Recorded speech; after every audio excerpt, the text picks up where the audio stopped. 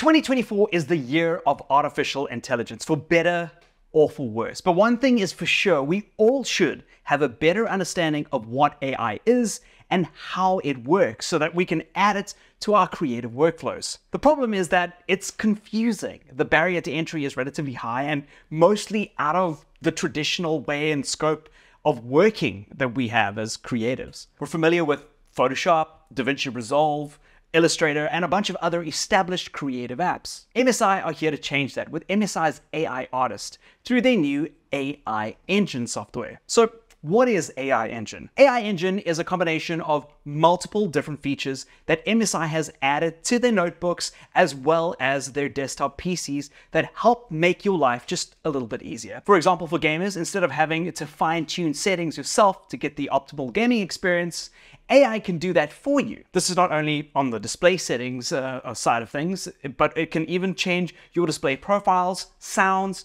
and so much more to ensure that you get the most out of the game that you're currently playing, when you're playing it, and how you're playing. The idea is to make your machine more intelligent for how you use it. The era in which you have to struggle to get the most out of your games is over. You just simply have to launch the game and the AI engine takes care of the rest. Today we're going to be looking at one of the components of MSI's AI engine. It's MSI's generative image app. It's called AI Artist. We're going to have a look at how it works and how the practical applications what they are for AI art, whether that's for creative inspiration, to help expand your art that you've already created, or even to use it in videos like this, if that's what you want to do. But before we start, there are a couple of things that you need to be able to do or to have to run this software.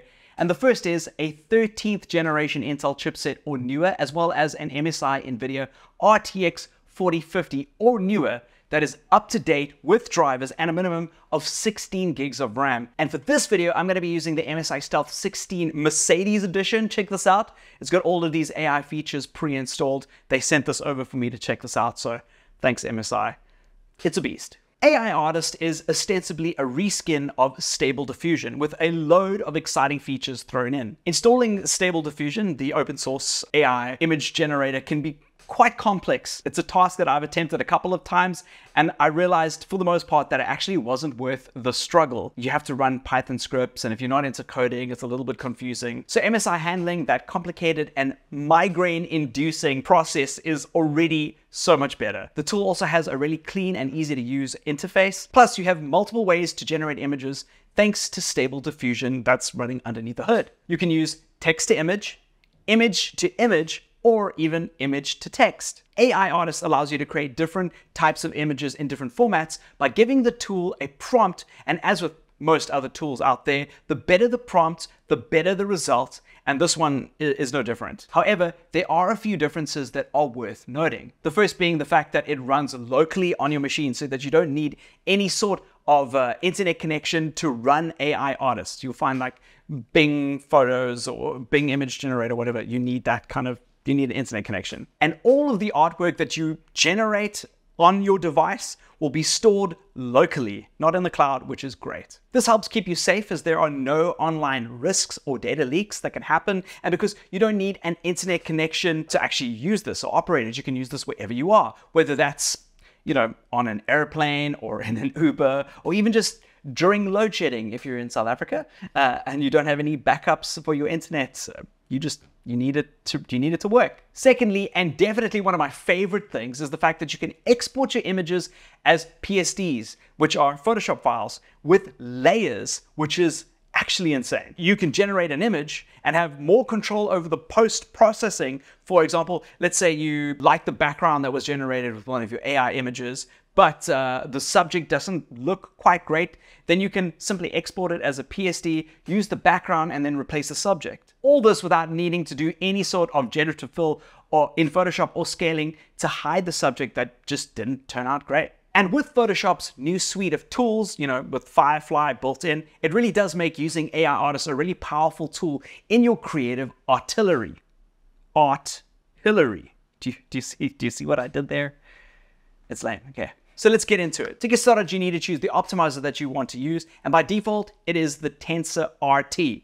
But if you want to add plugins and styles to generate images with a specific style, a, a, specific visual treatment, then you're going to need to choose either PyTorch or XFormers. AI Artist supports LoRa tensor files, so you'll be able to have access to an entire library of user-generated and already trained styles that you can just plug in uh, using these. They're called tensor files. You get a lot of these for free from the community from civit.ai. I recommend just going through that and finding the styles that you want to replicate with the work that you're doing. Then you can select the number of images that you want to generate with each prompt. It's always great to select more than one, especially if you're trying to generate an image for a specific purpose because you're going to be getting different, uh, multiple different iterations and you should be able to find an image that you like much faster or at least an image that you can then use as a reference to generate more images that are similar. Next, you need to select the aspect ratio and this is going to be determined by what you need your image for that you're creating. So if you want to use a thumbnail or a desktop wallpaper, something that's wide, you may want to choose something that's three by two. I preferably like to choose the one by one because it's the highest resolution image and I can then edit that with those PSDs in Photoshop using Firefly. So if I need to change the format, I'd rather do that uh, with more information in the image and do that in Photoshop instead. Next will be step. And what this means is the number of different algorithms and processes that the AI uses to generate the image that you that are prompted, the steps that it takes. So basically, the higher the number, the more complex the image will be that will be generated. Below that, you're going to find something called seed. And this is something that not a lot of people might be familiar with, but let me try and explain. In the realm of AI, a seed acts as a set of numbers guiding the generation of an image. Essentially, it kickstarts the random number generator, serving as a starting off point. The AI model undergoes training by analyzing input data, aiming to discern patterns and connections among the data points. Once it's been trained, it gains the ability to produce new data resembling the training set, leveraging the learned patterns and relationships. The beauty of using a random seed lies in its ability to churn out different images each time, even with consistent input values. Should you input the same seed, prompt, and settings, you'll constantly receive the same image output. While altering the seed here in the artistic algorithm might not have a significant impact, it can shift the focal points within the generated image. By default, you're going to find out that the seed here is set to minus one, but you can add a seed number there if you want to get the same image result as before, or keep it on minus one for completely different results, as minus one is going to be used as a, as a as an input for a different seed for every iteration, which is randomly generated, like I said. And lastly, you've got your prompt. This is where you can either use a text-based prompt or image-based prompt or even a combination of the two to get the best results for your image. Like I said before, the, more detailed that your prompt is, the better.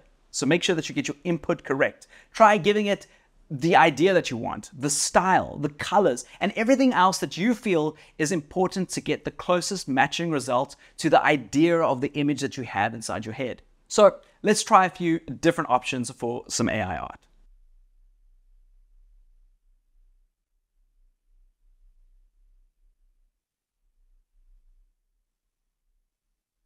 So as you can see, MSI has made it really easy to not only use their own AI artist tool, but also made it easy to then use that as either a base for your own work or as inspiration for some other art that you may be making. Remember, AI should be used responsibly. This, this isn't a tool that you should use to create artwork verbatim that you sell or, or sell off for stuff that is that you create randomly on your own, but rather it should be used in conjunction with your art and, and inside your creative workflow to, to help create better art or even just thumbnails for videos. This should most definitely be used as propaganda for vegan burgers, but for the most part, just make sure that you always create art that's completely unique. This forms as part of your inspiration, your Pinterest board, a launching off point for creative work. And as you can see, a lot of the stuff is, it's it's the beginning parts of it. It's the basics. If you guys want to play around with the MSI AI Artist tool, I have a li link that I've left down below in the description for you to go and uh, either get more info if you want to see how it works